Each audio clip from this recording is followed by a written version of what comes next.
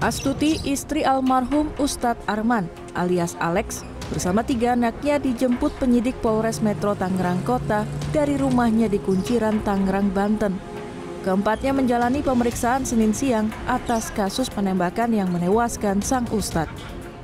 Tiga anggota keluarga yang lain yaitu adik ipar, keponakan, dan sepupu korban juga ikut diperiksa.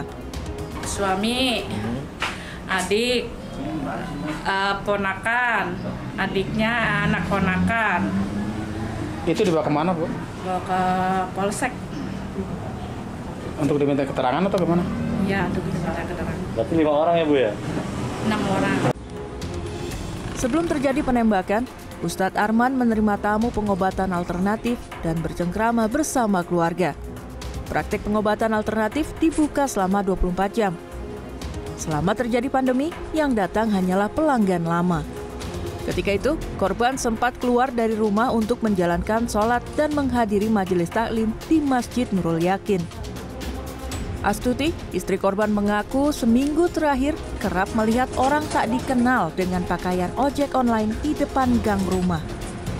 nggak ada yang aneh yang biasa aja gitu maksudnya biasa ke masjid sholat ya cuman emang dalam seminggu itu ada gojek aja di Sulawesi itu Hmm. nah pas katanya yang in- eh, penembakan itu yang bawa itu pakaiannya gojek yang bonceng nggak kaosnya hitam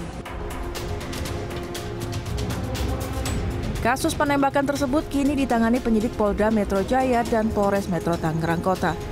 Penyidik masih menganalisis rekaman CCTV termasuk proyektil yang menembus pintu rumah korban.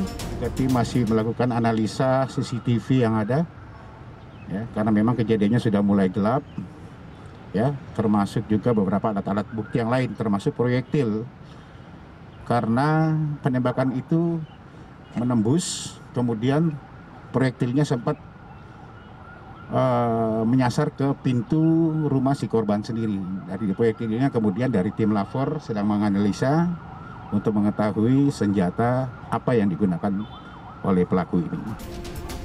Jenis senjata yang digunakan baru terungkap setelah laboratorium forensik selesai memeriksa proyektil peluru yang digunakan pelaku. Liputan CNN Indonesia.